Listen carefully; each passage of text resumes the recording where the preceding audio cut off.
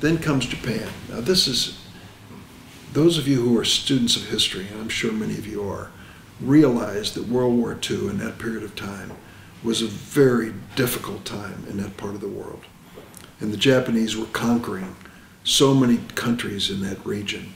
Uh, and there was terrible treatment and exploitation of Korean people by the Japanese uh, in that period of time. But since the war, new generations have come around and efforts have been made to get people to, to feel better about one another.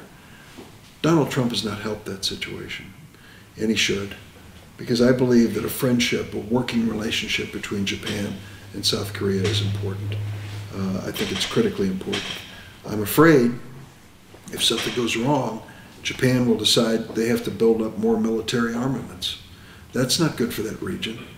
It's better that we are there and keep that under control.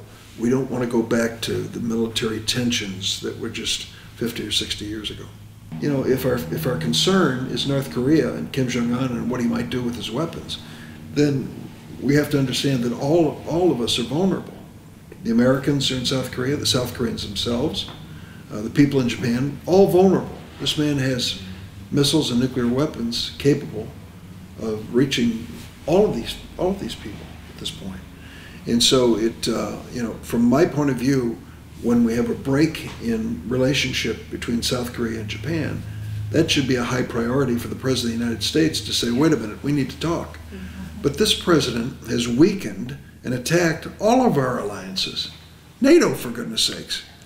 We created NATO after World War II uh, in an effort to stop the spread of communism in the Soviet Union uh, and to be certain that there was no third world war in our lives.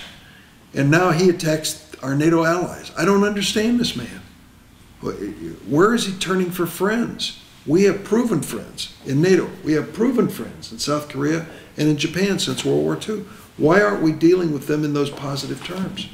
His he is not for diplomacy. He is for tweets. You know, and, and he does five tweets a day, and four of them are completely crazy. Uh, and that is how he's trying to govern this country. So we need a grown up, a grown up in this position. And I don't think he has demonstrated that he.